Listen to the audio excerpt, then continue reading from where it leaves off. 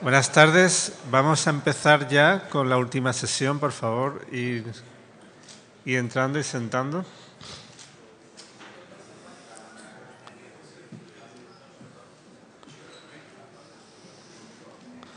No, no, espérate.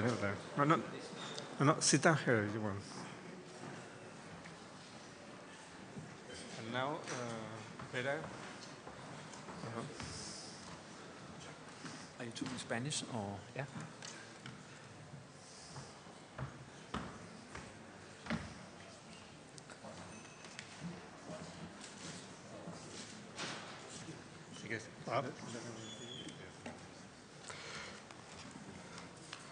Hola, buenas tardes.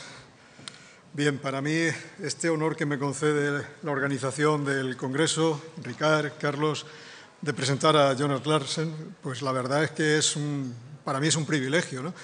Pero no quiero empezar a la presentación, que va a ser extraordinariamente breve porque vamos ya pasados de tiempo por todas partes, sin hacer una alusión a, lo que significa para alguien que, como yo, lleva ya unos cuantos años dedicado al estudio del turismo, lo que significa este congreso. Quiero agradecer de un modo muy especial a Ricard y a, y a Carlos que hayan montado todo esto, que lo hayan organizado y, sobre todo, la sensibilidad y la preocupación por llevar el estudio del turismo al ámbito de la arquitectura y del urbanismo.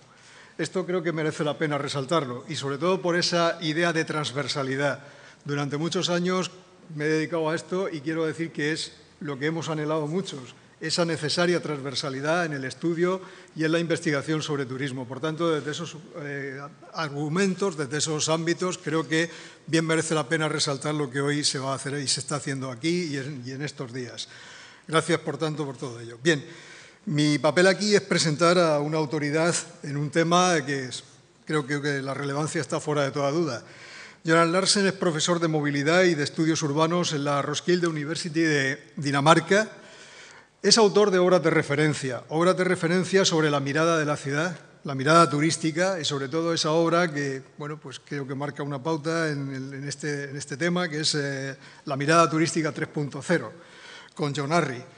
Eh, además, ha publicado artículos en revistas como Annals, Tourist Studies, Mobilities, etc. El otro día se me ocurrió mirar en Google Scholar, en Google académico, las referencias del profesor, del profesor Jonas Larsen y bueno, eran 5.000 no sé cuántas, lo cual testimonia que su obra, siendo como es una persona joven, que su obra es muy citada y muy eh, habitual en los eh, trabajos y en las investigaciones que se vienen haciendo. Sin más preámbulos, que esperar que esta, que esta charla nos resulte muy útil a todos, pues Jonas, Jonas, es un verdadero placer presentarte y tienes la palabra cuando quieras.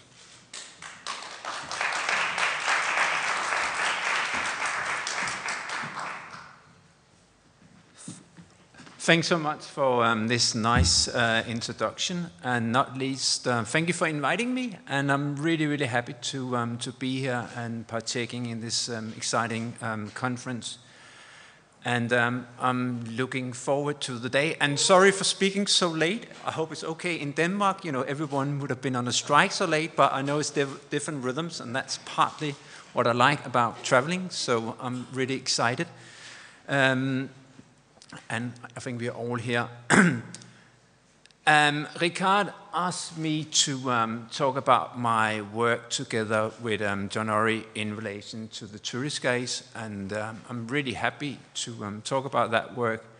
But I will partly also um, go beyond that work and in the end today talk about my more recent work which is actually very much kind of focusing on landscapes and it's trying to, to bring out a different account of landscapes than what is proposed by the tourist gaze, which is very much kind of looking or gazing upon landscapes and bringing about a more kind of physical approach to, to landscapes where we are being touched by landscapes and so on and so forth.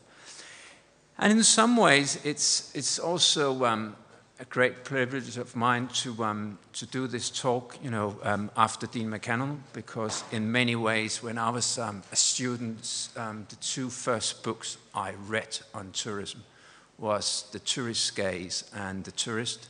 So it's kind of nicely kind of bringing it all together. Uh, and sadly, as I'm sure most of you are aware, John Urry passed away um, almost two years ago. So um, it's also a bit like talking about his kind of his legacy, um, I guess, to, um, to tourism studies and beyond. So um, the talk is called The Tourist Gaze 1.0, 2.0, 3.0, and kind of beyond. So it's not really going to be a 4.0. Um, I'm sometimes getting that question, but I think it would be odd to make a new version of the book without John. Um, all right. So um, John Urry was uh, always ahead of everybody else in discovering new and exciting research fields. And I think the tourist gaze is an early example of this. Prior to this book, few sociologists had taken tourism seriously or noted its growing significance around the world. There were some great books around at the time. I think Dean McCann's is perhaps the best example of that. But the tourist gaze uh, must be read as an attempt to establish a sociology of tourism. And that was actually this, um, the, the title that John was working with until um, the editor was suggesting that, you know, the tourist gaze is a much better title. It's also tying into the earlier discussions today by Dean MacCannell, I think, important to notice that John had a kind of critical approach to tourism. It was not a kind of a celebration of tourism. It was about, you know, trying to understand what tourism is doing to us as people, but also how it has an effect on places. So that was this kind of also kind of critical approach to it. And tourism, it seemed at that time, this kind of frivolous world of pleasures and carefree leisure, was not an appropriate subject matter for a serious sociologist. And I think John Urry was clearly aware of this. On the first pages of the book, he's almost apologizing for writing a book about this seemingly trivial subject matter. And yet he speculates, and I quote him that sociology might have great difficulties in accounting for holiday making as sociologists struggle to write about pleasure and fun.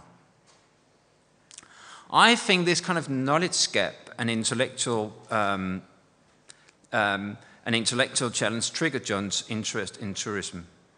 However, John was also aware, in part because of his locality studies in the 80s in the northwest of UK, that, tourist, that tourism was increasingly central to much social, cultural, and economic life, as well as to the rise and fall of cities and built environments.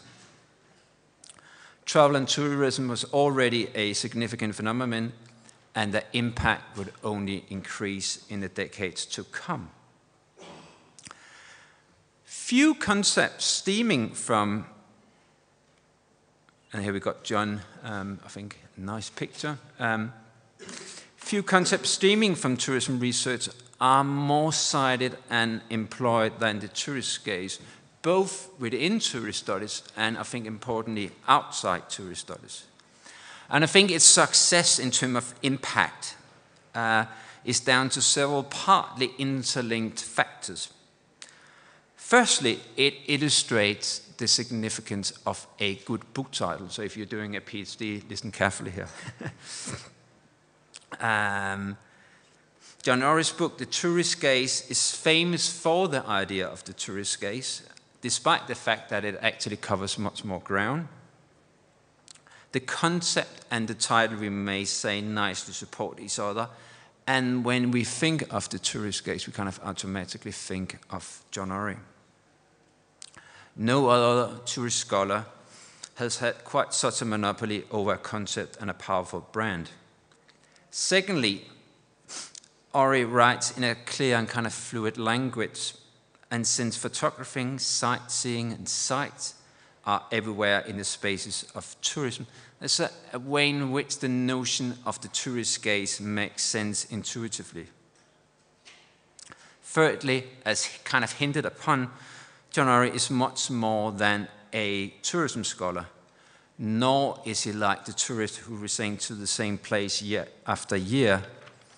He was one of Europe's leading social scientists with an incredible eye for discovering new kind of societal problems.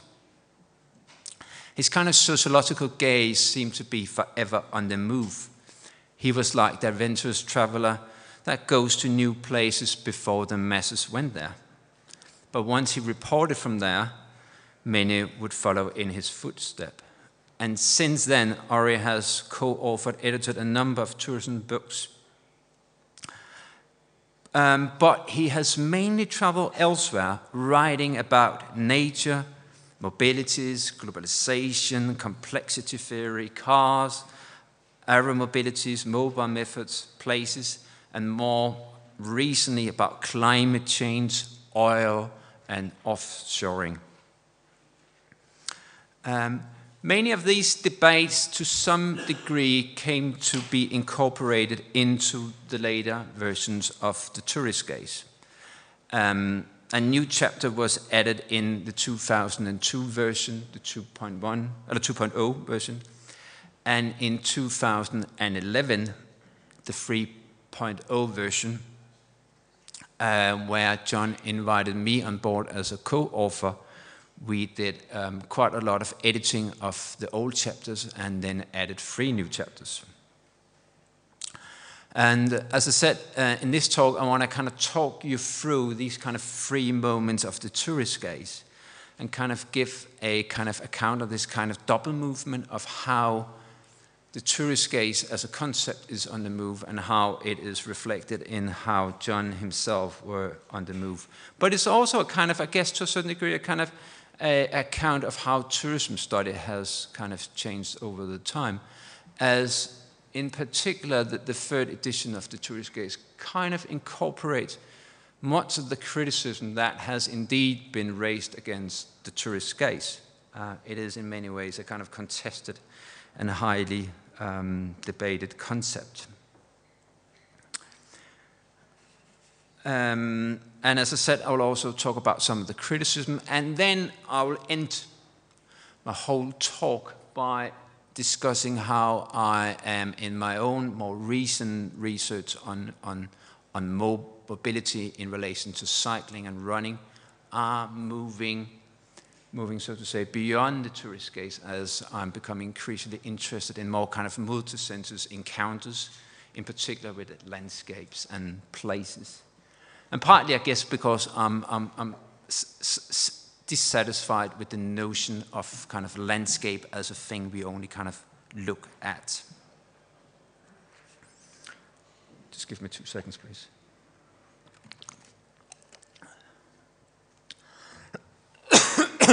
All right, so um, the 1.0 version.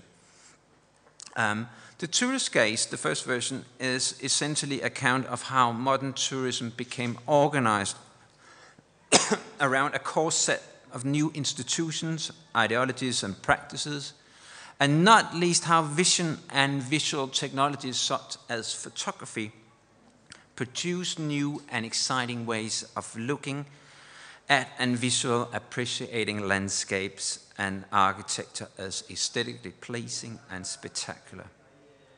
Tourism became materially and discursively designed as a way of seeing and this kind of mirrors the general kind of um, Western preference towards vision as discussed by Foucault and others.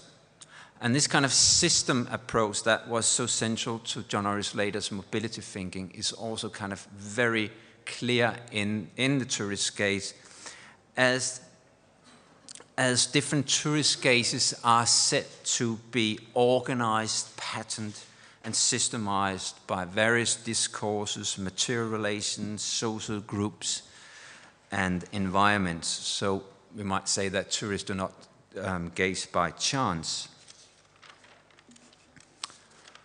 While not authorized by a single knowledge generating institution like the gaze of the medic discussed by Foucault, the various gazes of tourists are discursively organized by many professionals over time. So in early days, we might talk about romantic poets, and as we heard about earlier today, painters and so on, photographers, guides, tour operators, heritage industry, and so on and so forth. Urry also speaks about a kind of vicious hermeneutic circle in the first edition. to capture this kind of discursive framing or choreographed nature of gazing. Those effectively tourists gaze upon places that they have already consumed in image form. So we might say that gazing is about consuming and photographing signs or markers. And to some degree, at least, tourists are framed and fixed rather than framing and exploring. And part of the tourist gaze is the idea that gazing is kind of mediated by specific representations and technologies. And we might think of like the photography reading, and the guidebook reading and the photography taking tourists as a kind of the personalization of the tourist gaze.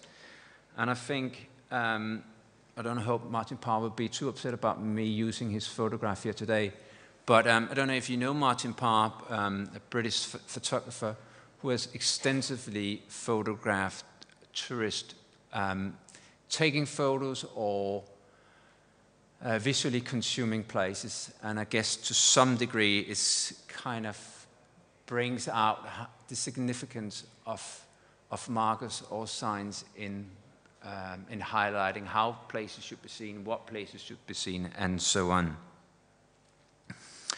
So if Foucault plays the kind of disciplining uh, part in the tourist gaze, then postmodernism, this kind of intellectual hipster of the 80s and 90s, plays the more playful one. Postmodernism undermines the distinction between representation and reality. We're kind of set to live in an age where we are oversaturated with images, um, where representations are everywhere, everywhere and often more exciting than reality. And the gaze, according to John, is not least postmodern because it implies that tourists are folded into a world of text, images, and representational technologies when they are gazing upon landscapes. Indeed, tourists often travel to places that are made special or extraordinary through media. And tourists, we may say, are traveling media mediascapes as much as physical worlds, and they largely um, appreciate them through the visual sense. And this is the kind of controversial and generalizing part of the book. I think that has made the book famous and also, as I said, kind of contested.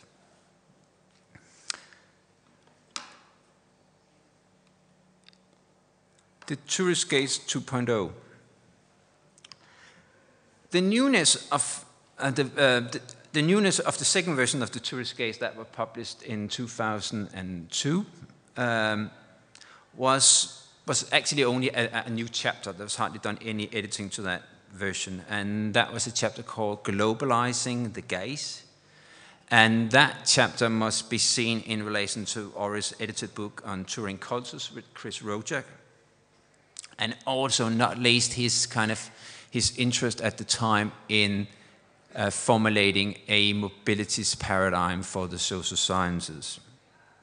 So increasingly, we may say that his, when he was interested in tourism, it was related to a much broader framework of mobility.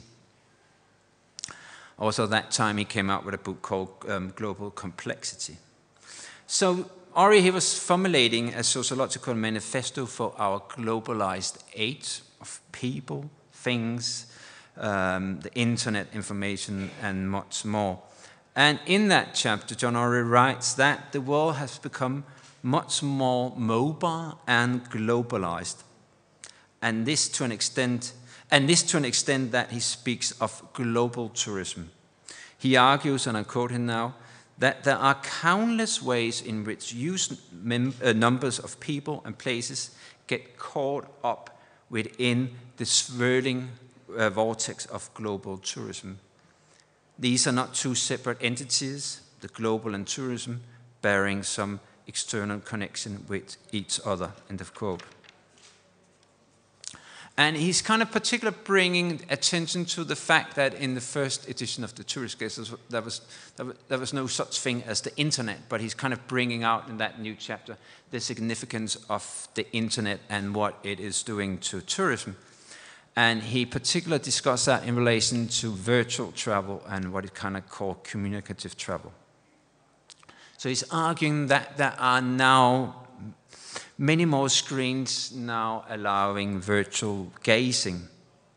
And yet, there's also more corporal travel due to cheap flights, more airports, and more destinations.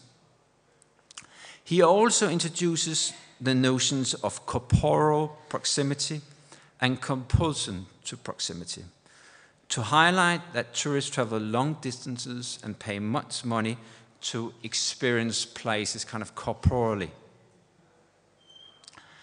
Virtual travel, he argues, is a poor substitute for the sensuous richness of corporal travel.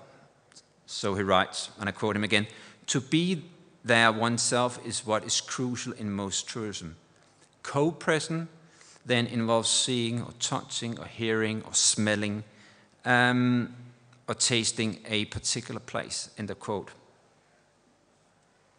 He also notes how much tourism uh, revolves around family life and friendships, as much network ties are not just around the corner, but at a distance.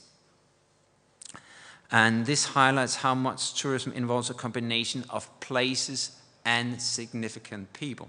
And it's kind of interesting if you're looking at the tourist gaze, there's hardly any discussion of sociality of traveling. There's almost this kind of implicit assumption that people are flaneurs that are going around gazing at the world, not really uh, hindered by, for example, family members. Um, okay.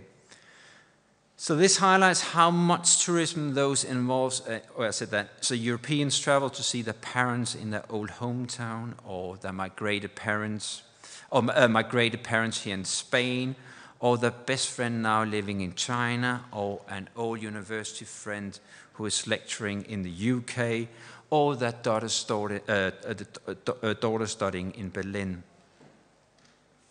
So when tourists visit friends and kin, they simultaneously travel to particular places that are experienced through their um, social networks and a kind of accumulated network of the local scene or of pertinent landscapes. And I think here we should kind of begin to note how Urry begins to move away from the idea that the visual sense is kind of dominating the other senses, or that we only travel to see the world.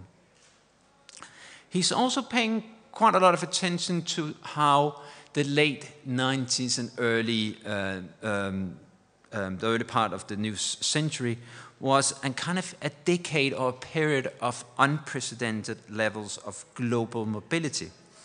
He knows how far more places are now part of global tourism. This includes places that are distant, places that are thought to have little tourist appeal, and this is part of a kind of reflexive process whereby places and nations enter a kind of neoliberal order where places compete with each other to kind of attract business people and tourists. Not least does it discuss how budget airlines have made travel, air travel, cheap and easy. In Europe, Berlin, Paris, and London have become kind of vegan playgrounds to what we might call the EasyJet generation. Overall, travel time and cost has reduced within past decades, so frictions of, of, of, distance and cost of travel only partly matter in relation to physical travel. So many more places are within reach cheaply and quickly. As a consequence, many people have become kind of used to a mobile lifestyle and a kind of touristic cosmopolitan, cosmopolitan outlook that presuppose, presupposes much travel. This also means that, and this is something that is only he touches upon in, in the book, in, in that chapter, but it also means that tr- tourists are no longer confined to out of the way enclaves. Tourists want to go beyond the enclave and the usual sites. They have a desire to move into, a gaze upon what Tim Edensor has called heterogeneous tourist places. And this is kind of tying into more kind of recent um, literature on what has been called new urban tourism, um, in particular referring here to the work of Maitland. And, um, and he's arguing that we see a proliferation of kind of new urban tourism in kind of gentrified hipster areas such as Brooklyn, uh, Kreuzberg, Neukölln, East London, Berlin, might uh, sorry, um, and, um, and Vesterbro in Copenhagen, where I live. And I would argue that new urban tourism is a reflection of cultural globalization and what we might call kind of hipsterification and a new generation of competent and frequent travelers. Western tourists increasingly feel at home outside enclaves, enclaves, at least in the, in the Western world, because such neighborhoods resemble each other. You will roughly find the same type of bar, roughly the same type of coffee bars, record shop, vintage shops, people, clothing, hairstyles in the neighborhood discussed in a new urban tourism literature.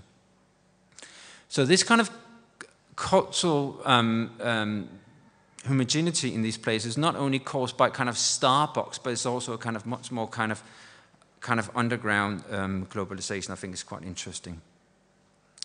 Okay, moving on to um, how are we doing on time? To the third edition. So much happened between 2000 and 2011 when the third edition was published. In the field of tourism studies, there was quite a lot of, um, a great deal of talk about replacing kind of the tourist gaze with a new paradigm of, of performing. And this kind of paradigm suggests that the doings of tourism are kind of physical, physical and corporal and not merely visual. Um, the tourist gaze was critiqued for reducing the significance of tourism to, to, to sightseeing. Where are the other senses, bodily experiences, and adventure? The critic, critic asked. And I was actually one of the critics.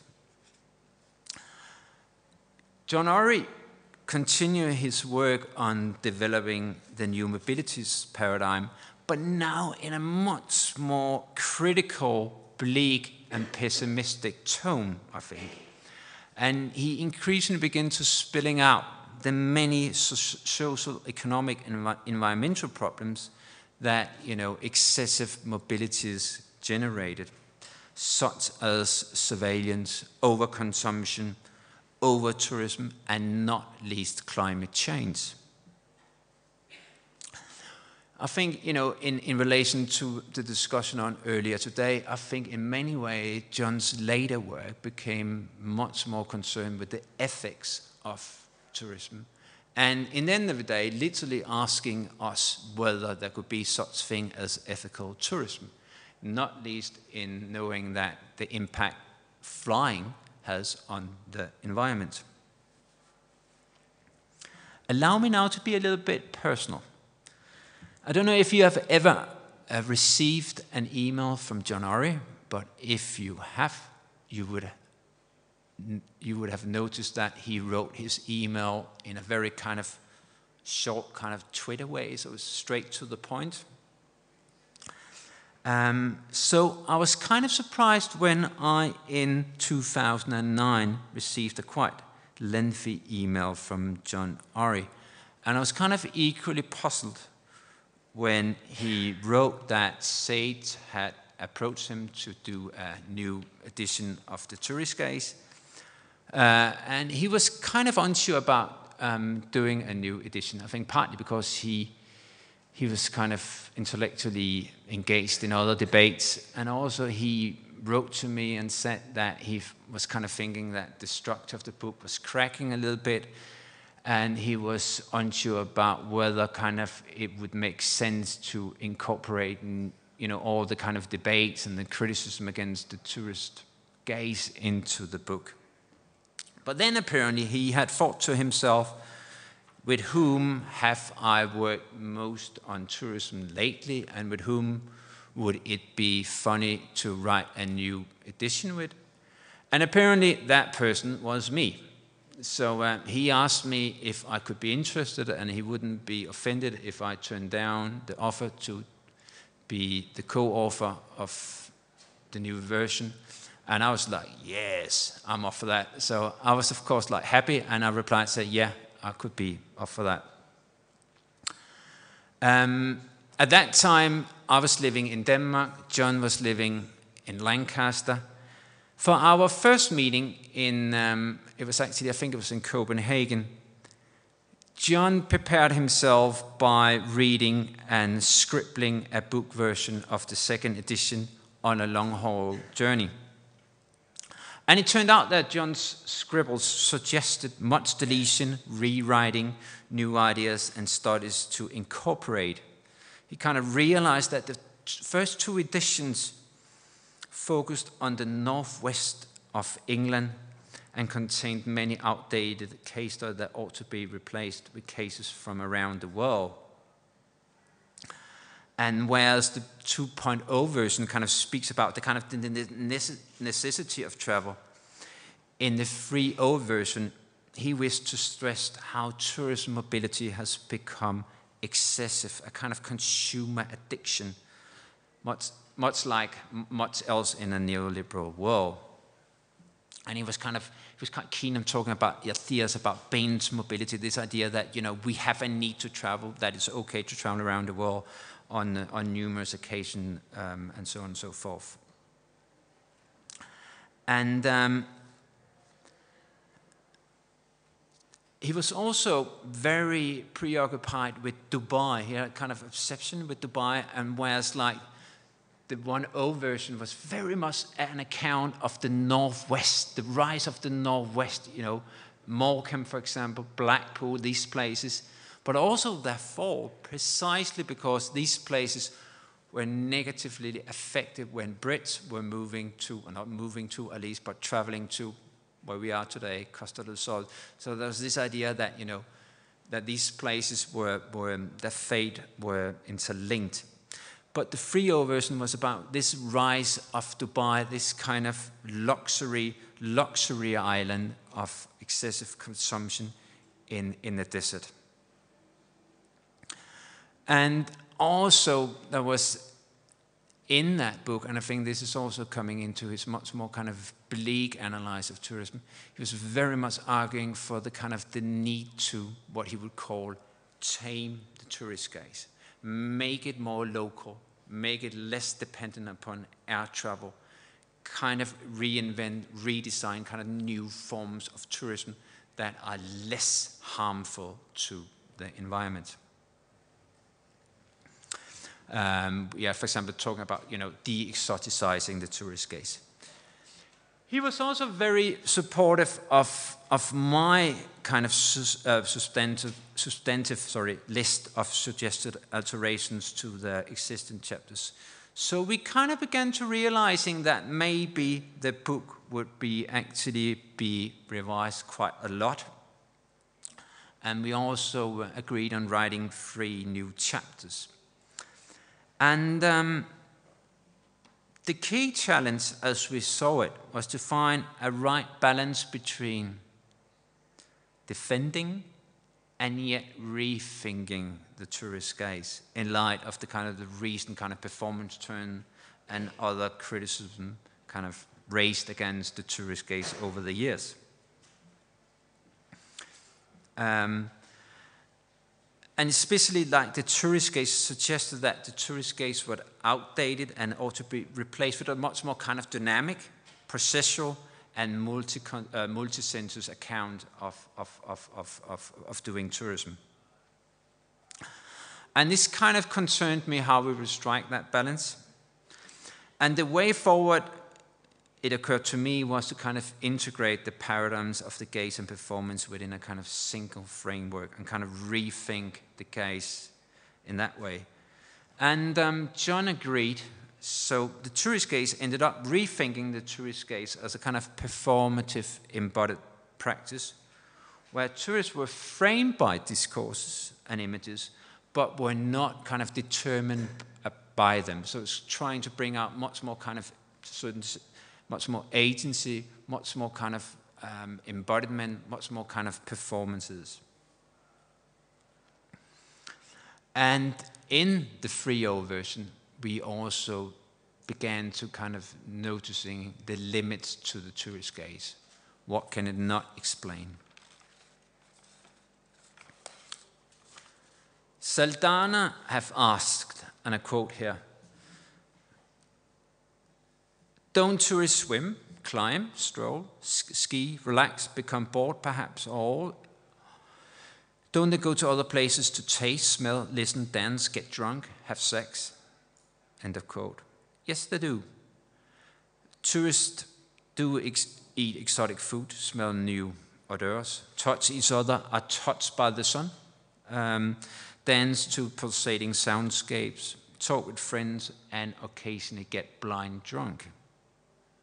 Flowers, touches, smells, and sounds, doing and acting can also produce difference and the extraordinary.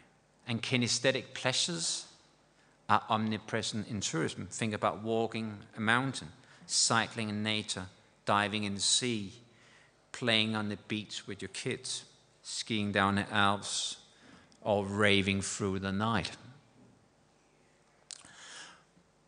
But we're still making the argument that tourist places, that, that many tourist places are designed according to a logic of visualism and in that process tend to suppress or control the other senses. And that the visual sense is normally the organizing sense within tourist experiences, as we kind of in the book discuss in relation to cameras, photographs, advertising, and themed spaces. While the visual sense is clearly not the only sense, we may argue that it is often the organizing sense. It organizes the place, role, and effect of other senses. This, this, the distinctiveness of the visual is crucial for giving all sorts of practices and performances a special or unique character. The most mundane of activities, such as shopping, strolling, having a drink, or swimming, or river rafting, appear extraordinary and become touristic when conducted against a striking or unusual visual uh, backcloth. In the Gaze 3.0, we put forward a relational approach that acknowledges, and yet we, we put forward a relational approach that acknowledges the complex intersections of the senses in people's visual encounters with places. So we kind of argue for a sensuous analysis of tourism and look at the relationship between normally dominant visualism and the other senses, including various kinds of movement. So there's this idea that the performed tourist gaze is never just eyes, it involves the whole body, um, and that gazing is kind of multimodal. And we also kind of discuss how gazes are never disembodied traveling eyes.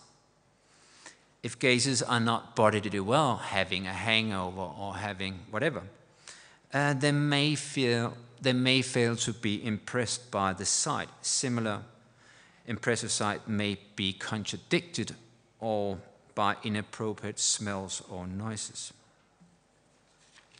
And we also bring out um, some of the social relations of gazing. And we discuss how tourists never just gaze upon places and things. Tourists gaze upon places in the presence of others, other tourists and locals, as most tourist places are busy public um, uh, places. And as I said, gazing are also performed with significant others.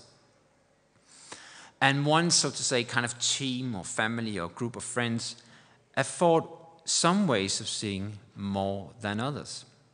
Gazing is kind of relational and communal. It also involves negotiations about what to see, how to see it, and for how long time. And gazing within a given place depends as much upon the quality of the social relations that travel along with tourists as upon the place itself. So if you have been to Paris with your partner and you're madly in love, Paris is that romantic. If you are in Paris with your partner and your relationship is falling apart, and you realize that not even Paris can kind of recapture that, you know, um, um, relationship, then it becomes a very different place. How are we doing on time? Okay, yeah.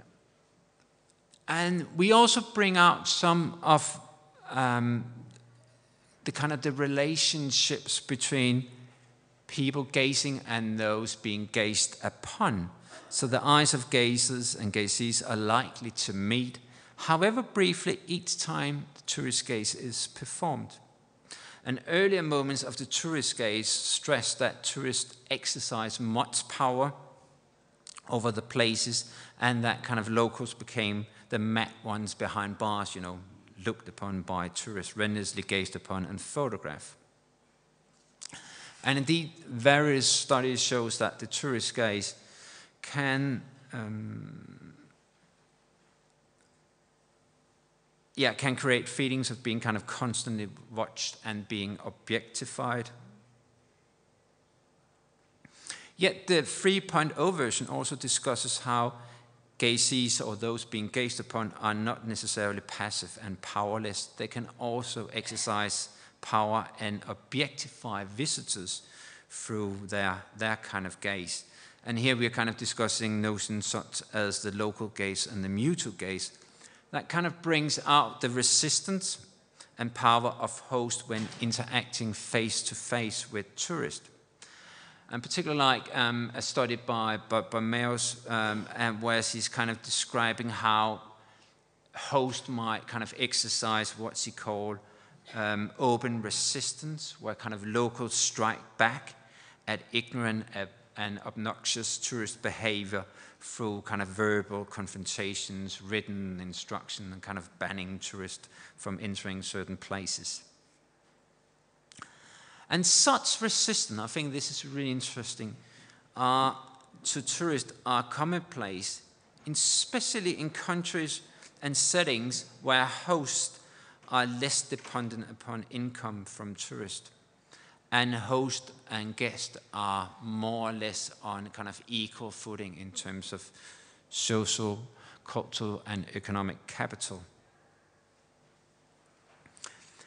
Um, and I think, um, and I think this is, is again coming back to the kind of literature on the new urban tourism. I think this is really relevant here um, here, tourists might be met with poor service and inhospitality.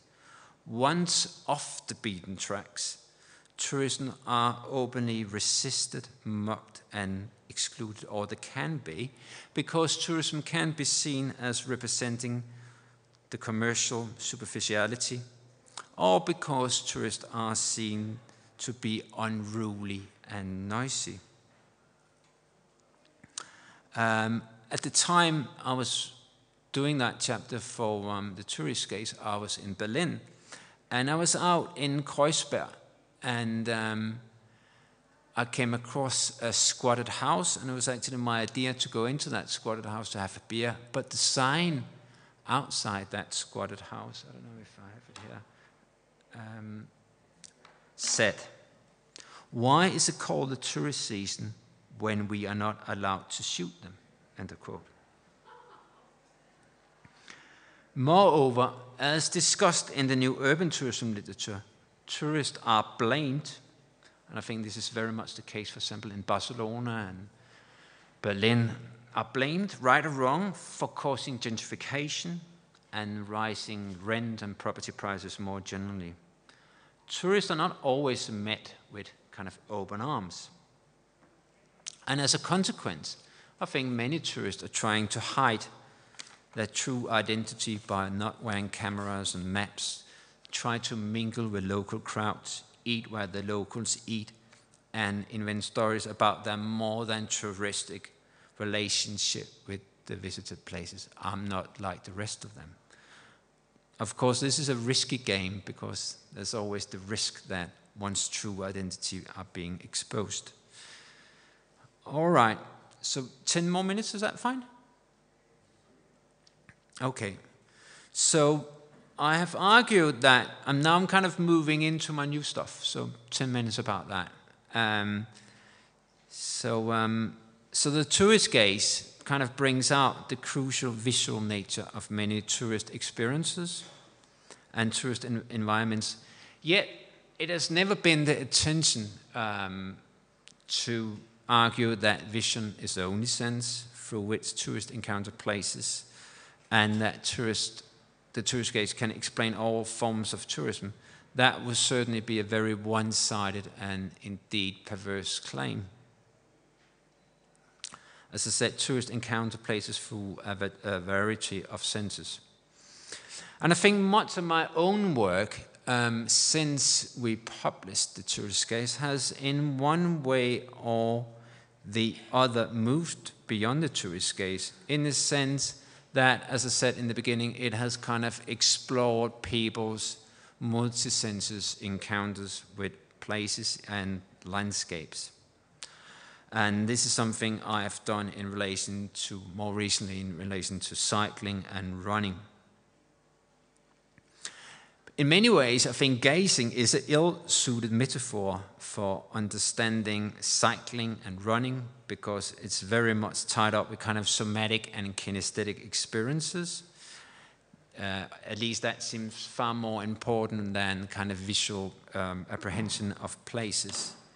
And yet, in, um, in, in a recent study on, on, on tourists who are cycling in New York, it was also clear in their account that, that cycling somehow opened up um, the landscape and, you know, cycling at least at, uh, along kind of designated cycling route opened up kind of New York to a kind of a, a lovely mobile gaze. And um, next week, I'm off to Kyoto and Tokyo um, to study marathons. So that's kind of what I'm writing about at the moment. And it's really interesting because, in many ways, I don't know if any of you guys have been running a marathon, but it's a very kind of very tactile, it's, it's, it's and you become so tired that you hardly see anything. And, um, but, but nonetheless, almost all marathons are promoting themselves as being incredibly uh, being places that are designed according to, um, to, to a certain degree, the tourist gaze in the sense that it kind of in, incorporates uh, tourist places. They are saying that, you know, we have the most kind of sightseeing friendly kind of route and so on and so forth.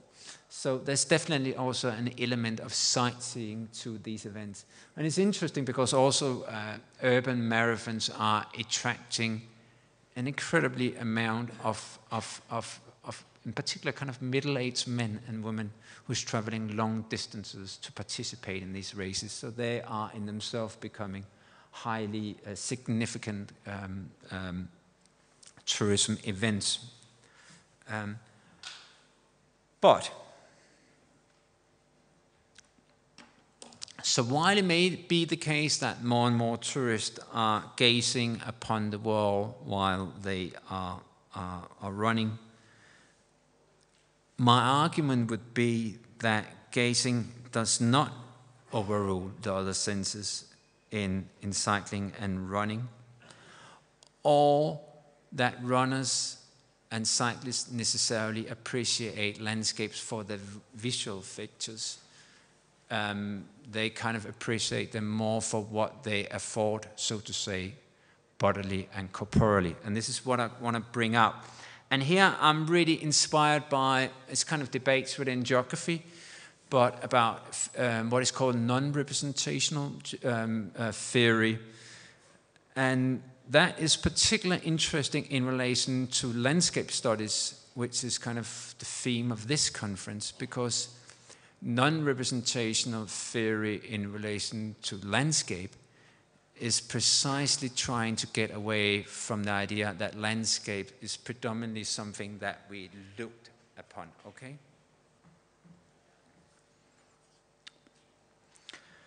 Non-representational scholars are against the idea, against the widespread focus on re, uh, representation, representations, cognition, the visual sense, and discursive landscapes in the social science.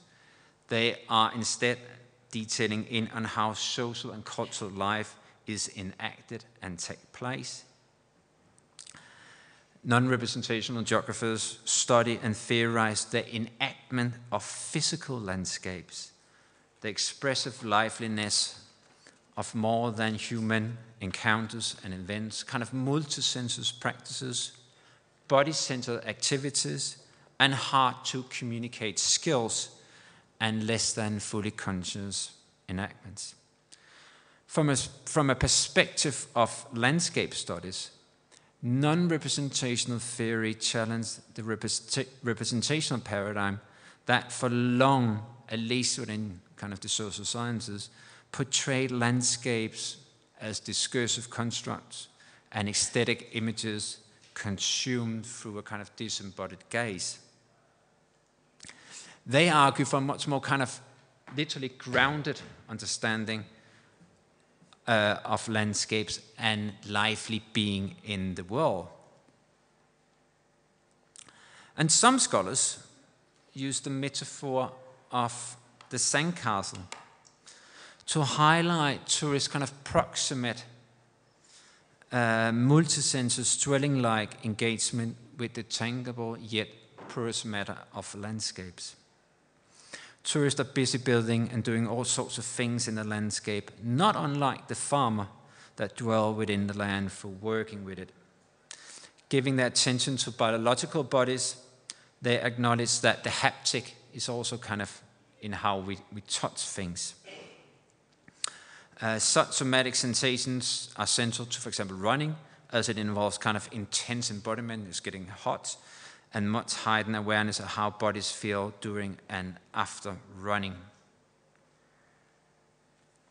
Despite the fact that outdoor sport is a corporal practice per se, non representational scholar Andrews claimed that sports geography articulates, and I quote, static images of sporting landscapes. The feel fails to get to grips with the raw performance uh, of sport. Sport as material, embodied, expressed, and sensed physical act happening in space and time, in the quote. So they kind of argue that we, or geographers, are neglecting the immediate and active detail of what is taking place. And they are arguing that, you know, researchers should make their methods dance a little and that you know researchers should start you know becoming like exercising and be active. And just to give a quote here, as Vannini is writing, the sensuality of non-representational ethnographies depends on a reawakened scholarly body, a body stiffened from long sleep in the background of scholarly life that now yearns to exercise its muscles. End of quote. Um, and now I want to end, because we're running out of time, so just skip a little bit. Um, I want to end on a bit of an experiment, and it's part of a chapter I'm writing at the moment. But it is based on a fieldwork on the Danish holiday island called Bornholm. And um, the event I'm writing about is a, um, is a running event on that island and um, it's, it's, it's a tourist event in the sense that you know around 80% of people participating are, are tourists. They're mainly coming from, from Copenhagen. Um, it's a very, it's a very um, relaxed event. It's not, it's not highly competitive or anything like that, but it's, it's, it's a race that takes place over five days. And um, so in that sense, it's quite time consuming. And over the five days, you run like a full marathon.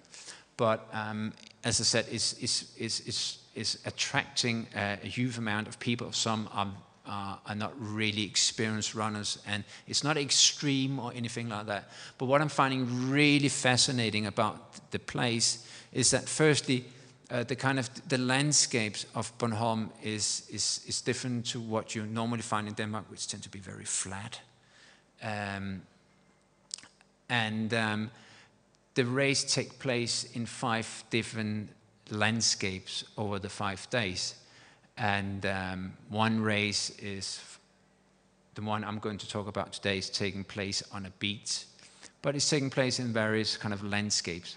And I'm like doing interviews with people, but I'm also running myself. And what is interesting here is how people talk about the landscape. Even though Bornholm is a very kind of, many ways been seen as a very kind of picturesque, sublime landscape, and people saying, yeah, we can enjoy the landscape visually. They're also talking about how running is kind of affording very particular, interesting, stimulating experiences of the landscape. So I'm very kind of interested in how, so to say, we are engaging with landscapes as we participate in these runners and um, how they kind of affect us. So um, if I have two minutes, I will make a little experiment.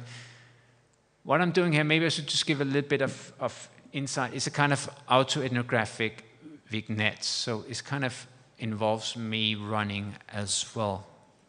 Okay, so this is like the second day, and this is um, on the beach in in in in in, in, uh, in Bornholm.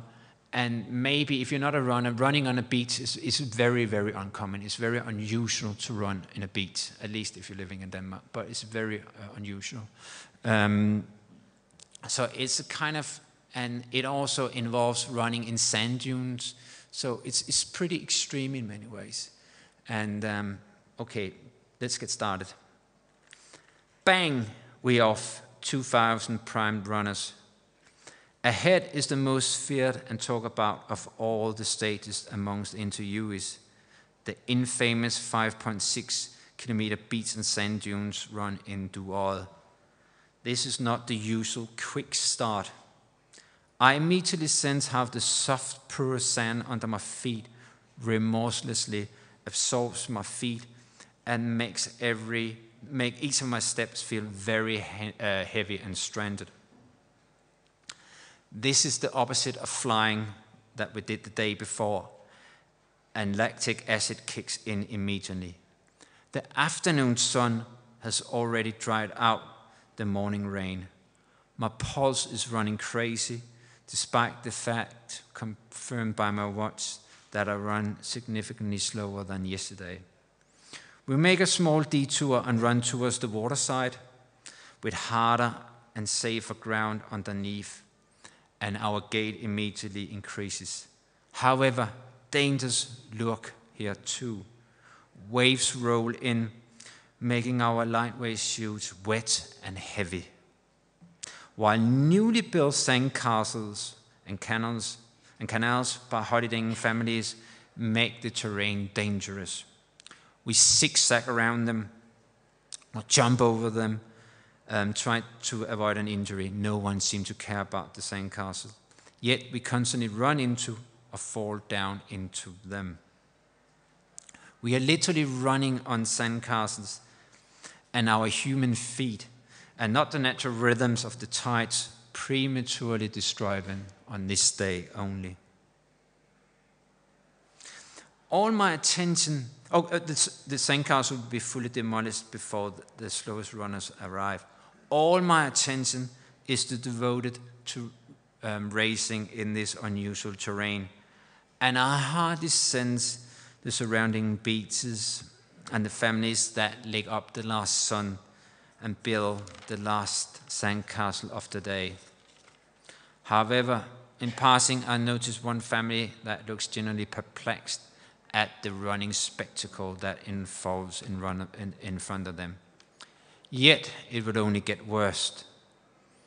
A rhythm brutally overwhelms us when we run into some high rising sand dunes. Many begin to walk it simply feels wrong to run in a sand, uh, in, a sand, uh, in, the, in the sand dunes, and our legs feel tons heavy. Others sprint by me with light feel with light feet and small strides? Are they locals or just highly skilled runners? Their footwork and gait is in conjunction with the terrain. Yet the worst is to come. Just before the end, there's a steep sand dune where photographers and spe- uh, spectators congregate to watch this human spectacle of suffering. To our energy depleted bodies, they appear almost vertical, and I whispered to myself, Don't walk, don't walk, dig in, dig in. I ascend in a blurry haze of exhaustion, vocal support, and blitzing cameras. Did I manage to smile? The end disappears in a few hours, leaving only tens of thousands of footprints behind that will soon be washed away by the tide, rain or wind, or the next day's influx of holidaying families. Maybe I should say that this, this chapter is also um, um, inspired by my recent work with um, Tim Edensor kind of on, on, on rhythms and, um, and tourism. So there's also aspects of that. So the conclusion, I've, I've tried to kind of give you an account of uh, the history of the tourist gaze and how it has kind of changed over the time and how it also reflects John's intellectual kind of trajectory and how I think John ended up um, being very pessimistic. And, and I guess also kind of to tie into what Dean MacCannell was talking about earlier today, um, the need to, to rescue tourism from, from, from kind of brutal and vulgar capitalism that is going to destroy what we all like the, the, um, the ability to go to and experience other places.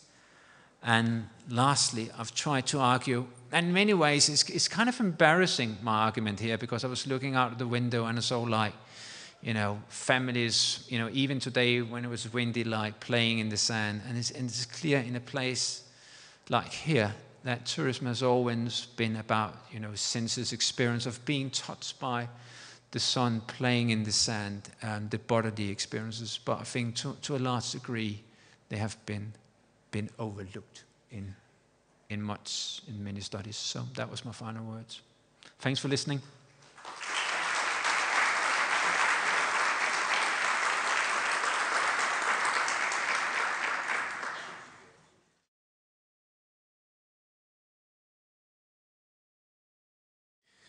Bien, eh, a Jonas Larsen se le ha presentado por parte de Fernando. Yo quiero añadir que hemos asistido a una brillante conferencia que nos ha aportado, nos ha enseñado las claves para entender las aportaciones de las tres miradas turísticas, 1.0, 2.0 y 3.0, y las reflexiones últimas de la experiencia, de, la experiencia del propio Larsen sobre la reflexión de, este tema. La mesa redonda programada eh, cambia de registro eh, de intención de tema, lo hace más amplio y la organización con esta actividad lo que prevé es que eh, los participantes con un breve comentario aporten algunos puntos de referencia sobre este tema, el tema de la mesa redonda. El tema de la mesa redonda, como eh, habéis podido leer en el programa, es la eclosión de un fenómeno nuevo, el turismo de la ciudad postindustrial. Por tanto, la eclosión de un fenómeno, de un fenómeno nuevo, el turismo de la ciudad postindustrial. Y es sobre este tema eh, sobre el que eh, pediremos al profesor eh, Larsen y al profesor Vera Rebollo que nos aporten estos breves comentarios que nos van a servir de referencia. Al profesor Larsen se le ha presentado anteriormente, al profesor Fernando Vera yo puedo decir simplemente con cuatro palabras que es un referente en la investigación española sobre turismo y en la formación universitaria sobre turismo y que eh, no hace falta decir nada más eh, porque es ampliamente conocido por, por los presentes en esta sala. Bien, eh, centrándonos en el tema de la mesa redonda, mm, me atrevo a plantear dos preguntas a, al profesor Vera y al profesor Larsen, eh, a los dos, dos preguntas y después, eh, si tenemos tiempo, que espero que sí, daremos la palabra, os daremos la palabra a, vosotros en la medida que, sea posible. Las preguntas, em, yo parto de la premisa que nos interesa saber más sobre la eclosión de, un, de la eclosión del turismo en la ciudad postindustrial. Nos interesa saber más de aquello que ya está escrito sobre el turismo urbano, el turismo en la ciudad y la ciudad postindustrial se han escrito muchas cosas y em, vamos a, solicitar a los participantes, al profesor Larsen y al profesor Vera, que nos den sus opiniones como un avance eh, a, lo que ya se ha escrito. Entonces, em, voy a hacer dos preguntas. La primera de ellas es muy básica, pero es eh, entendiendo todos lo que eh, eh, eh, asumiendo todos nosotros que se ha producido una eclosión de este fenómeno nuevo que denominamos turismo en la ciudad postindustrial, la pregunta que hago a los dos profesores es si nos puede indicar brevemente dos, tres factores, razones por las que se ha dado, por las que ha tenido lugar esta eclosión del turismo Mm, en la ciudad actual que calificamos como ciudad postindustrial. Por tanto, eh, cuando queráis podéis eh, responder a, esta pregunta que acabo de hacer. Gracias, Paco. A ver, hacer ahora un inventario de, de, los muchos factores que inciden en esa eclosión. Creo que el concepto de eclosión está perfectamente adecuado para el propósito de lo que se trata, en realidad. Muchas gracias. Perdonad. Decía que hacer un, inventario o explayarse en los factores, factores son muchos, como sabéis, incidentes, y influyen de una manera también eh, diferentes cada uno de ellos. Pero, a ver, yo mencionaría por lo menos nuevos hábitos entre los consumidores turistas, que tienen que ver con paradigmas socioculturales. Señalaría renta disponible en origen y señalaría movilidad y accesibilidad. Y me quedaría haciendo hincapié, porque los dos primeros están muy claros, paradigmas asociados a nuevas formas de disfrute del tiempo de ocio y demás.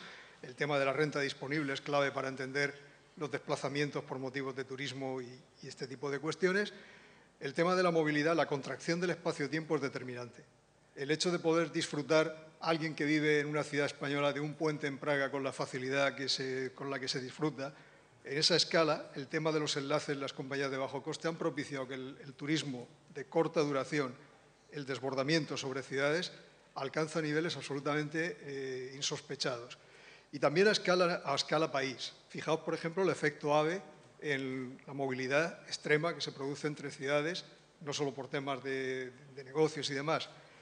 Esos factores son fundamentales. Influyen muchísimo en, estas cuestiones también los eventos. Los eventos han servido para posicionar ciudades, pero han servido también para reposicionar y para activar muchísimo los movimientos hacia ciudades y, por supuesto, influyen también otras cuestiones como son la promoción de los destinos y el efecto que está teniendo toda la cuestión de las llamadas plataformas de la economía colaborativa, para algunos no tan colaborativa, a la hora de activar una enorme bolsa de alojamiento en las ciudades a unos precios absolutamente asequibles, por decirlo así. Si vamos conjugando factores, entendemos ese desbordamiento y lo que es evidente es que no se ve como un fenómeno que se pueda parar y que se pueda de alguna manera o que se vaya a minorar en los próximos años, más bien se incentiva. Si tenemos en cuenta todo eso, pues también consideraremos la necesidad de las ciudades de regular estas cuestiones, que eso lo podemos ir discutiendo después. Muy bien. Um, oh, thank you. Uh, I had some problems, so um, didn't hear all of it. Um, but um, is, is clearly a really interesting and difficult question to, um, to answer. And I think it's, it's, it's, it's, it will be a, a, combination of factors that can explain that. Um, I think I would like to kind of bring out, of course, the significance of of the kind of the infrastructure, the system that is now in place in terms of really cheap travel, uh, budget airlines, and um, they are, of course, like landing and taking off in many of these kind of post-industrial cities. So it is incredibly easy, cheap, convenient for any person almost to travel within most of, um, of Europe. So these places have more or less become weekend playgrounds um, for um, a whole generation of young and not so young people. So I think that is, is really important.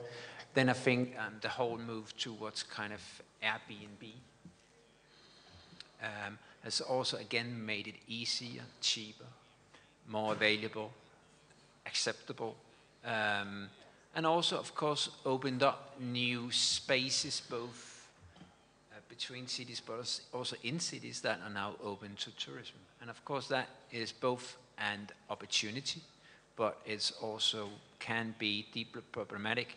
And I think that is partly what I try to discuss in my talk today, um, the kind of classes that can happen when suddenly your neighbor is a tourist that does not really need to go to bed at Monday at 11, but think it's okay to, to party, for example. So I think there's going to be issues around that. Then I think it's interesting. I, I think in, in, generally, this kind of move towards kind of city tourism, there's so much literature on, on tourism just going back a decade or so that was kind of this idea that people were fleeing the city and going to the countryside or whatever. Okay, this idea that, you know, you know, when we go on a holiday, we would like to, to relax, um, to get away from the city. But um, cities, I think, are increasingly being seen as places that you move to, um, and also seen as places that are, are nice to go on a holiday. So there's something about cities in general that are seen as attractive, as kind of fashionable, and all that, which were not the case uh, 20 years ago. Think about a place like Copenhagen, it's, it's, the same in places like Barcelona. It was places that no one would left 20 years ago. But now they're places where not only people are coming as a tourist, but also like to live. Yeah. Okay. Yeah. Sí, ya acabó, acabó su intervención. Sí. Eh, bien, eh, en los dos casos eh, se, entiendo que se ha puesto énfasis por una parte en la movilidad y los desplazamientos, las infraestructuras, el coste. Por tanto, eh, son, entiendo, causas o factores asociados a la demanda y a la posibilidad y capacidad de, moverse. Larsen ha, añadido también al final el tema de la atractividad, los atractivos de la ciudad. De la ciudad. En relación a, lo que acaba de decir el profesor Larsen y su vinculación con su intervención anterior, hago la segunda pregunta también, que es ya no el por qué hay eclosión del turismo urbano, sino la afectación del turismo a la ciudad, es decir, cómo el turismo transforma la ciudad. Y, eh, en ese sentido, dos cuestiones concretas. Eh, cómo se tiene que gestionar la conservación de los elementos formales y funcionales de la ciudad y cómo se tiene que conservar la convivencia en la ciudad, a la que se ha hecho también referencia antes al hablar de confrontación entre anfitrión y turista. Cuando queráis, contestará cómo el turismo transforma la ciudad, qué se tiene que hacer para gestionar la conservación de los elementos formales y funcionales del espacio urbano y también la convivencia entre anfitrión y eh, turista. Habría que volver a insistir como punto de, análisis de todo lo que has dicho, Paco. El turismo es un fenómeno de demanda. Hace muchos años que venimos insistiendo en que por mucho que desde los campos como el nuestro, el del urbanismo y demás, se estudie desde el lado de la oferta, por decirlo así, o de los destinos, es un fenómeno de consumo. Y esto hace que las, pautas y demás vengan dadas a partir de lo que son los hábitos y los cambios en esos hábitos. Partiendo de la base de que es un flujo iba a decir incontenible. Yo creo firmemente que la posibilidad de conservar la identidad del medio urbano, los valores que hacen atractivo ese medio urbano para el consumo turístico, va asociada, a mi modesto entender, necesariamente a la regulación. guste o no, tiene que haber regulación. A ver, yo aquí, permitidme que me moje directamente, creo que hay como dos posturas antagónicas, hay muchas más entre medio, ¿no? pero hay dos posturas antagónicas en este sentido de la regulación. Una de corte neoliberal, en la cual cuanta más gente venga es mejor, ya lo hemos vivido en otros modelos turísticos, sobre todo los que nos hemos dedicado al ámbito del turismo costero, el turismo litoral, lo sabemos, cuanto más vengan mejor, con independencia de niveles de gasto y demás. Pasa igual en el medio urbano, cuanto más vengan mejor, ¿por qué regular? ¿Por qué se le van a poner puertas al campo?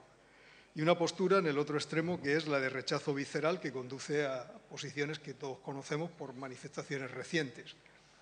Es curioso también que dentro de la posición neoliberal luego sí hay reacciones de intento de regulación cuando me afecta a mí en mi modelo de negocio. Es decir, ahí sí que ves cómo el lobby hotelero quiere regular los apartamentos y la eclosión, voy a volver a utilizar lo de eclosión, la eclosión del apartamento y de las viviendas de alquiler, porque me toca a mí en mi modelo de negocio, porque es una oferta desleal. No deja de serlo, evidentemente todo, todo lo que está en el mercado debería estar en igualdad de condiciones, pero eso es otra cuestión. Por tanto, primera cuestión, yo creo firmemente que hay que regularlo. Lo que pasa es que hay formas de regular las cosas. Hay maneras, como bien sabemos, de regularlas de una manera drástica y hay formas de disuadir y hay maneras de pautar esos niveles de saturación en determinados momentos. Segunda cuestión al hilo de eso, para ver cómo amortiguo estos efectos. A mí me da, después de, años ya dándole vueltas a estas cosas, que los instrumentos normativos se quedan eh, limitados los instrumentos normativos específicos son insuficientes.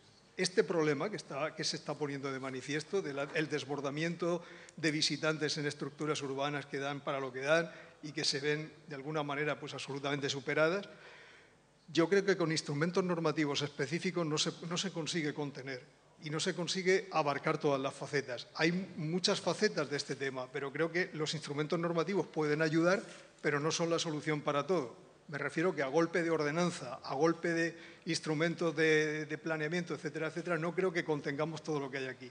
Creo que hay medidas que conciernen a políticas no solo turísticas, afectan a tráfico, afectan a movilidad en la ciudad, dentro de la propia ciudad, eh, y afectan a muchas más cosas.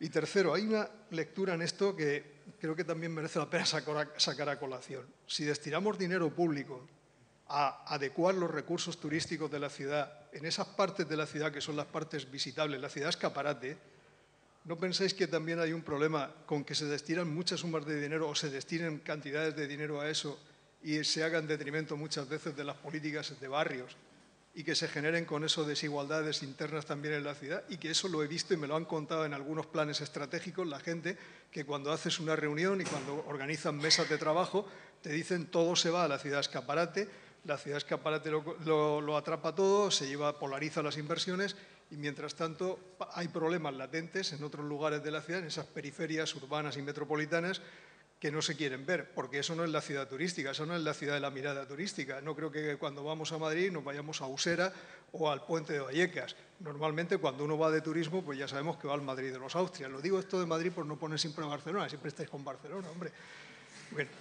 bueno en fin, regulación sintetizando, regulación, segundo, insuficiencia de instrumentos normativos porque creo que son más cosas. Por supuesto, creo que sí que hay que contar con instrumentos normativos, pero más cosas, más allá de eso. Eh, por supuesto, acuerdos eh, entre agentes actuantes. Eh, a la hora de hablar de los agentes intervinientes tiene que haber más acuerdos y más posiciones de consenso y menos posiciones enfrentadas entre gremios. Los gremios a veces se particularizan las cosas de una manera excesiva. Y tercero, el problema de los desequilibrios internos dentro de la propia ciudad. La ciudad escaparate contra la ciudad más global. Gracias.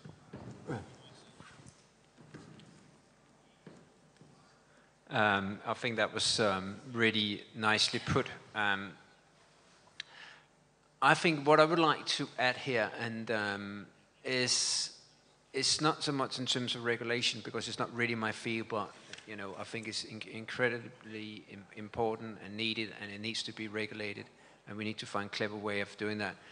But what maybe because I'm speaking mainly here from a Danish perspective, where we're not yet in a place like Copenhagen overrun by tourists, and there's not really that kind of hatred against tourism as I'm seeing in other places. But what I'm finding really inter interesting and um, what we need to do in tourism study is paying much closer to attention to precisely how tourism impact on our cities.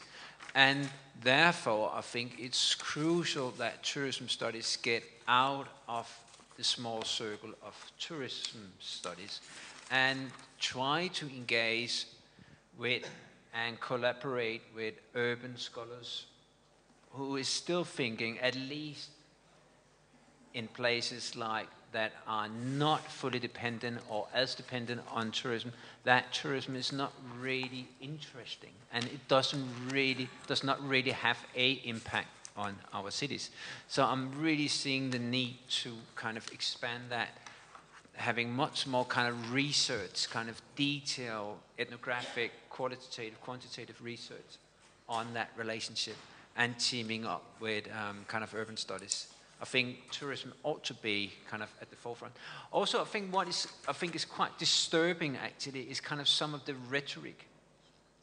Um, it's perfectly okay, even among many of my left-wing friends, to, um, to, to, to, speak really harshly against tourists, and also that you know what the kind of the slogan I had. Why is it called the tourist season if you're not allowed to shoot them? So there's somehow this kind of rhetoric um, against tourists, and I think you know, living in a mobile world, maybe I need to get used to the idea that maybe my neighbor sometimes is a tourist. So I think that all these kind of issues around, you know, immigrants and stuff like that, the next kind of issue might be tourism and finding ways in which to live and accept the other um, could be really, really interesting. At least that's partly what I'm trying to do in my kind of my next research project, trying to team up with, urban people who is not really interested in tourism, but I think they should be. I don't know if I'm answering your question. yeah. Yeah, gracias. Bien, eh, hemos hecho dos preguntas para introducir y desarrollar esta mesa, este tema. Tal como les había comentado, mmm, abrimos un turno de palabras breve, por favor, aprovechando que tenemos a los profesores Larsen y Vera eh, para seguir profundizando sobre esta cuestión. ¿Preguntas, por favor? Sí. Eh, Vicente.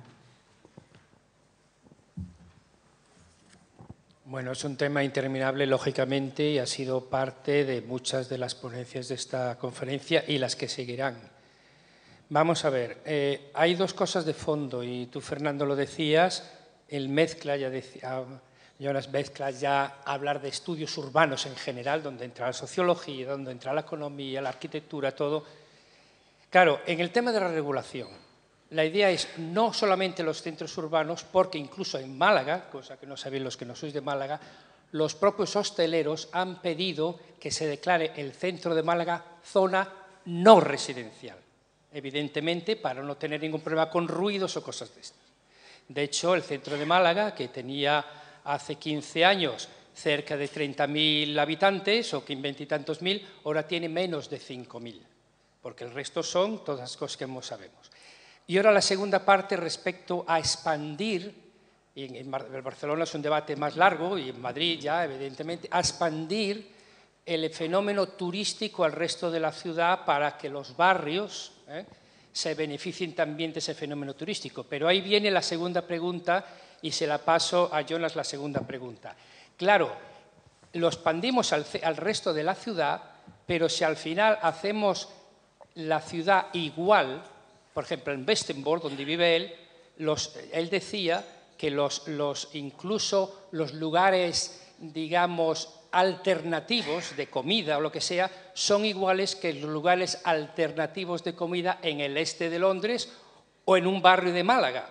Entonces, eh, ese atractivo de la ciudad, eh, que sí lo tienen los antiguos centros históricos porque tienen ciertos elementos constructivos que son la foto de esa ciudad, los nuevos desarrollos turísticos en los no centros de las ciudades son exactamente iguales en Westenborg, en Barcelona, en, Barcelona, en, la expansión de Barcelona a, Badalona, ya termino. En el San Pere IV, que, que hay un debate precisamente que hacer con las antiguas industrias, es exactamente lo mismo que hicieron en las antiguas industrias del este de Londres, que son bastante trendy. So, ahí tenemos la gran contradicción. Ya lo dejo ahí porque es un debate largo. Muy bien. Dices bien, querido Vicente, pero a ver, en el primer tema, la pérdida de las densidades residenciales en centros de ciudad me parece un solemne disparate y conllevaría la musealización o museificación del centro de la ciudad. Eso estamos ya hartos de estudiarlo, bueno, lo han estudiado muchos autores, está más que, más que puesto en evidencia y creo que eso sería, insisto, un disparate. Es decir, a medida que tú eh, consigues levantar, por decirlo así, la, función residencial, haces que ese barrio o ese centro o ese distrito se convierta en eso, en un puro escaparate eh, en un mero artificio, ¿no? Es un artificio que en el momento en que le quitan la vida le quitan muchas cosas. Creo que esto está fuera de discusión. Por lo menos yo ahí no, es que no entraría al debate ya. Yo a estas alturas cada uno ve las cosas desde su ángulo. Comprendo que quien defiende esas posiciones lo defiende porque tiene unos intereses muy concretos. Por eso le decía que dentro de las posiciones neoliberales en el turismo, luego es curioso porque te encuentras estas contradicciones tan solemnes. ¿no? Y de la otra parte que dice, yo me, solamente mm, sé que se lo formula la pregunta a Jonas, pero sí que quería decir en ese sentido que cuando yo me refería al tema del de, turismo en una, parte, en una parte concreta de la ciudad, que es la ciudad escaparate, querámoslo o no, y el hecho de que los barrios eh, se quejen, pues es por el tema de inversión, no tanto pensando en que el turismo vaya a ir a parar a lugares que no tienen en sí mismos pues, unos atractivos para la mayor parte de los consumidores turistas. Eso es evidente. Y que cuando se ha producido la salida de una parte del turismo de ese centro, de ese distrito central, ha ido a parar a lugares que son artificios creados con esa finalidad volviendo al caso de Madrid, para equilibrar con Barcelona, pues el caso de las rozas, por ejemplo, con el, famoso outlet o cosas por el estilo, ¿no? o los parques de ocio que se configuran en, en el entorno metropolitano. No sé, yo tampoco quiero explayarme más. ¿Me pasas? Gracias. Yeah, um, I'm, I'm quite interested in, uh, as I said, the kind of the new, uh, what is called new urban tourism. Um, and I, guess the idea here is, as we've talked about, that increasingly people are venturing you know, off the beaten tracks into neighborhood that are not kind of designed as such for, for, for tourists. Um, but somehow, I don't think we should get kind of carried away believing that is, it is necessarily a kind of a search for the extraordinary. Because what, what, what I think that is, is, ground to believe is that many of these people going into these spe specific neighborhoods are doing precisely, precisely the same type of people going into specific areas in, in Barcelona, they're going into specific areas in New York, Copenhagen, and they precisely like to go there, not because it represents something new as such, but because they kind of feel familiar with them. So there's that kind of, kind of sameness to it. What I'm also finding Sorry? ¿Done? No, más cerca de la... Más cerca de la boca. Okay, closer. Okay, sorry. Yep. Sorry. And also a sorry. really interesting uh, something I think that ought to be um, researched much more is the kind of effect it has that tourism becomes more spread out. I'm not necessarily arguing that it is a good thing because, you know, firstly, it doesn't necessarily mean that there's going to be more income generated. And secondly, it might also have the effect that areas that were not had to deal with tourism will now have to do it. So I think it's a really interesting issue. Um, but of course, lots of it has to do with Airbnb. Um, and um, tourism these days seems to be everywhere. And also because, like as I talked about, um, more and more people are mobile and then um, also hosting guests and so on. Yeah. Muy bien. Eh, ah, más preguntas, por favor.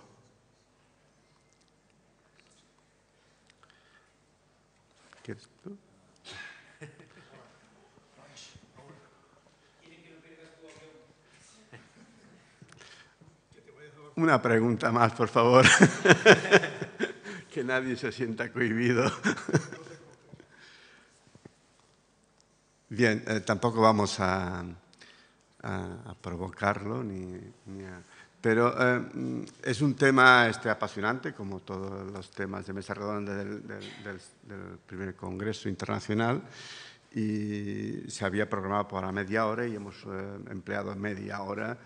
Creo que mm, lo que aquí hemos oído pues es una, unas opiniones que, que nos estimulan, nos motivan a pensar sobre el tema y, abrir la reflexión y el tema, es decir, que no cerramos nada en absoluto, sino que nos llevamos sugerencias muy interesantes para reflexionar sobre el tema y continuar eh, estudiando este, este, tema tan apasionante.